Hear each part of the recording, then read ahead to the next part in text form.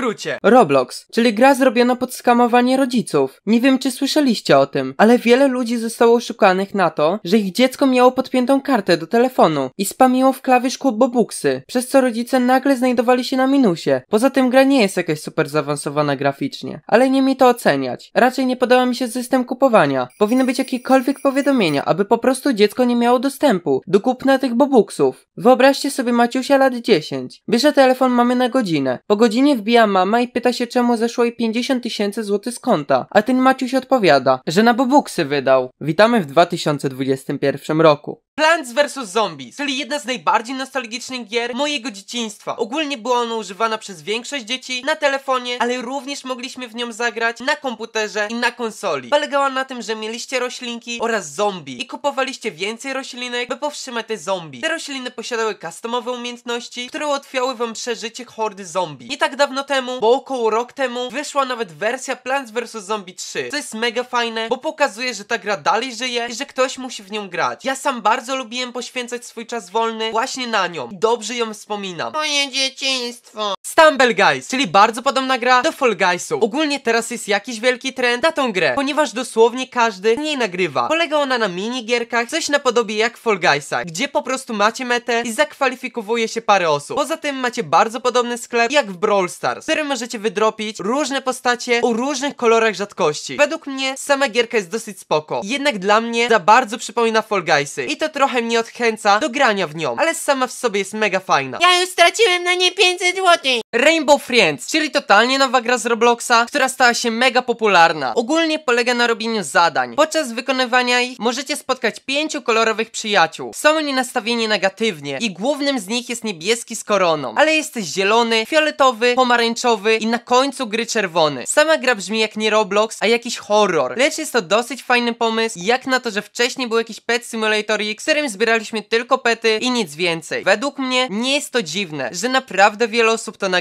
i można nazwać tą grę pod względem hypu, że to drugi Simulator X. Tylko Pet Simulator X. Clash of Clans, czyli jedna z najlepszych gier z mojego dzieciństwa. Ogólnie polegała na rozbudowaniu swojej bazy. Mogliście w niej napadać na swoich znajomych, jeżeli posiadaliście wcześniej zrobione wojsko i w skrócie mieliście monety oraz fioletowe gemy, które potem używaliście do wzmocnienia się i bycia coraz lepszym. Pamiętam jak nieraz kochałem czekać na to jak wzmocni się cała baza. Była to mega fajna gra, którą dobrze wspominam. Jednak takich gier było wiele więcej i niestety z czasem zacząłem o nich zapominać, a w tym na przykład jednej grze, gdzie byliście szczurem, który próbował kraść ser i również napadaliście na innych graczy. Szkoda, że większość z tych gier z czasem przemija. Ale bym se wrócił do dzieciństwa. Poł, czyli bardzo stara gierka na telefon. Posiadała ona wielki hype i naprawdę wiele osób w nią grało oraz nagrywało. Chodziło w niej o to, że mieliście po prostu kupę i ją karmiliście, dbaliście o nią, mogliście robić jakieś skoki przez płotki i tym podobne. Ogólnie była ona bardzo wciągająca. Niestety nie dało się w nią grać wiele osób, bo była po prostu single player. Miała ona nawet wiele minigierek, które mogliście grać i zdobywaliście punkty, które dało się wymieniać na jedzenie, picie oraz leki dla naszej kupy. Według mnie gra była mega spoko i sam lubiłem w nią grać. Kupa życie! Among Us, czyli gierka, która miała mega hype w 2020 roku. Można by powiedzieć, że dorównywała Fortnite'owi jak zaczynał, bo dosłownie każdy o niej mówił oraz nagrywał. Trochę tego nie ogarniam, jak to tak się nagle wybiło, bo Among Us jest już od 2018 roku na Androidzie, czyli w sumie mega długo. Niestety twórcy mieli graczy totalnie gdzieś i mega długo wydawali wielką mapę, która okazała się nudna. Jednak ludzie stwierdzili, że zaczną sami pisać mody do Amonga i naprawdę fajnie się gra. Zostałem zaproszony przez Diablesa właśnie na takie gierki z modami i klasy są naprawdę mega fajne. Szkoda, że Among Us tego nie doda. Fall Guys, czyli gierka na Steamie, która była płatna aż do niedawna. Ogólnie polega na tym, że macie stworki, podobne do postaci z Among Us, ale z rączkami. Twórcy gry przez to, że nie dodawali żadnych update'ów, to po prostu stracili graczy. Trochę tego nie rozumiem, że wasza gra się wybija i stwierdzacie, że aktualizacje w grze będą mega rzadko i do tego po prostu były nudne. Jednak postanowiono zrobić mega mądrą rzecz, czyli wprowadzić update, który umożliwia wam granie w Fall Guysy za darmo, co akurat jest mega fajnym pomysłem. Ale ja mam już Fall Guysy. Gdzie moja stuwa? Pet Simulator X, czyli jeden z trybów w Robloxie. Ogólnie przez ostatnie kilka lat można go nazwać naprawdę potęgą, bo grała w niego masa ludzi. Polegał on na tym, że były takie małe stworki i mogliście się nimi zamieniać. Jak Robloxa nie lubię i max 5 godzin w niego grałem, to wyświetlał mi się na głównej mega często. Sami Yoshi wspominał, że umiał robić 100 tysięcy wyświetleń w dzień, a teraz jego filmy Robloxowe osiągają maks 40 tysięcy. Jednak twórca jego po prostu go zaniedbał, a tego nie rozumiem, bo jeżeli macie taki tryb i zarabiacie kupę forsy, to czemu nie robić tego dalej? Przecież można ogarnąć ludzi od tego. A po co? Minecraft 2.0 Ej, myślicie, że to na pewno dobry pomysł? Żeby stworzyć Minecraft 2.0? Jasne, że tak. Więcej zarobimy. Ale stary, co jak on nie będzie wystarczająco dobry? No to powiemy, że nam się podoba. I dla nas stworzyliśmy go. No dobra, mamy coś nowego, czyli Minecraft 2.0. OMG!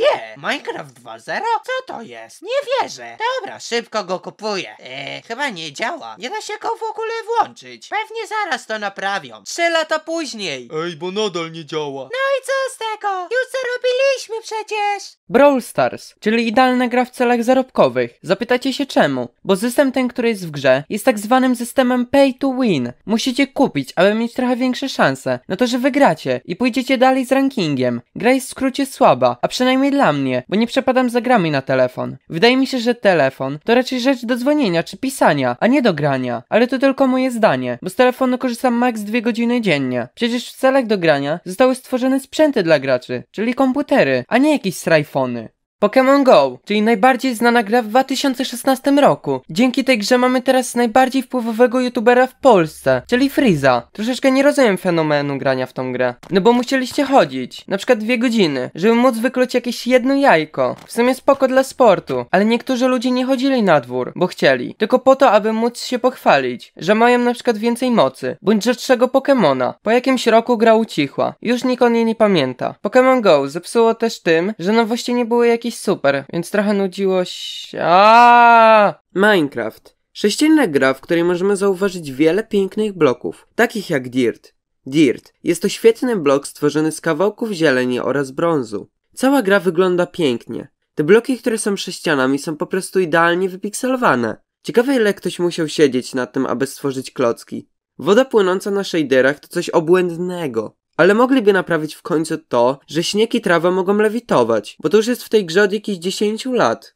Garden of Bamban, czyli ledwo co nowa gierka horror. Ogólnie przypomina ona bardzo Poppy Playtime oraz Rainbow Friends, ponieważ macie zamysł postaci i taką kolorystykę. Polega ona na różnych zadaniach, które musimy wykonać, aby przedostać się dalej. Mamy w niej motyw paru postaci, które są narysowane na ścianach i posiadają różne napisy. Sama gierka jest bardzo krótka, jednak zapowiedziano już jej nową wersję, Garden of Bamban 2, która ma wyjść za niedługo. To znaczy, że twórcy gry przewidzieli tak duże zainteresowanie grą. Według mnie jest ona spoko, jednak przez to, że jest tak krótka, to trochę odchęca do wejścia do niej. Ale i tak cieszy się wielkim rozwojem. E tam, podróbka Rainbow Friends. Geometry Dash, czyli jedna z najbardziej popularnych gier, kiedy byłem bardzo młody. Ogólnie była do pobrania na telefonie i polegała na tym, że mieliście mały kwadracik, w którym przechodziliście różne levele. Było to coś na podobie Flappy Birda, bo zmienialiście pozycję z góry na dół. Jednak była ta gra o wiele bardziej rozwinięta i ciężka. Z tego co pamiętam, to miałem znajomych, którzy naprawdę tryhardowali w tą grę i chcieli zachodzić jak najdalej i zdobyć przy tym nowe skiny. Mnie to jakoś nigdy nie jerało i w sumie grałem w nią max dwie godziny, aczkolwiek była dosyć spoko i strasznie dynamiczna. Aktualnie nie wiem czy tyle osób w nią gra jak wcześniej, lecz zakładam, że tak. Pamiętam ją.